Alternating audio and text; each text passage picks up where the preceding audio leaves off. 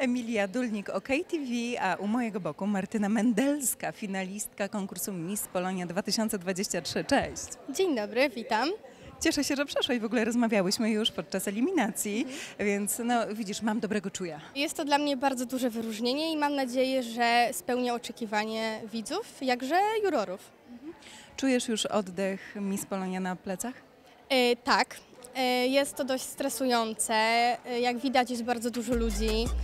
E, każdy z nas obserwuje. E, są fryzjerzy, są makijażyści. Cały czas jesteśmy w ruchu. Musimy dopilnować tego, żebyśmy prezentowały się jak najlepiej. I żeby się prezentować jak najlepiej, zjadłaś dzisiaj śniadanie? Oczywiście, tak, dbam o dietę i dbam o to, żeby odżywiać się regularnie. Czy masz jakieś przesłanie dla dziewczyn, które chciałyby startować w takim konkursie, ale trochę się wstydzą? Nie ma się czego wstydzić. Jeśli tylko o tym marzysz, to spełniaj swoje marzenia.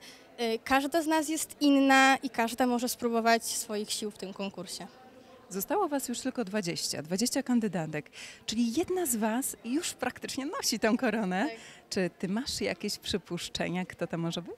Mm, Na chwilę obecną dopiero y, zapoznajemy się z dziewczynami, więc nie mam swoich typów, ale jest wiele pięknych i bardzo inteligentnych dziewczyn, więc y, współczuję ju- jurorom, ponieważ to będzie bardzo ciężki y, wybór.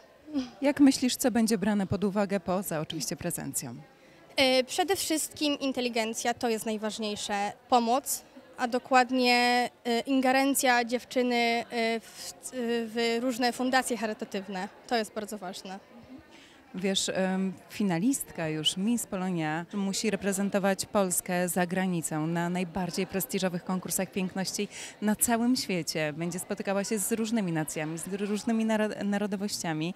Myślę, że to jest e, no, ogromne wyróżnienie, ale też ogromne wyzwanie. E, Tak, e, to byłby dla mnie wielki zaszczyt, żebym, gdybym mogła reprezentować Polskę na konkursach e, ogólnoświatowych. Moja rodzina bardzo mnie wspiera. e, Rodzice, jak również dziadkowie, oni zawsze byli za mną, zawsze pomagali mi w tych najcięższych chwilach i jestem im bardzo wdzięczna, że ich mam. Czy masz jakąś swoją taką nieoczywistą pomoc, jakiś talizman albo może jakiś rytuał przed konkursami piękności?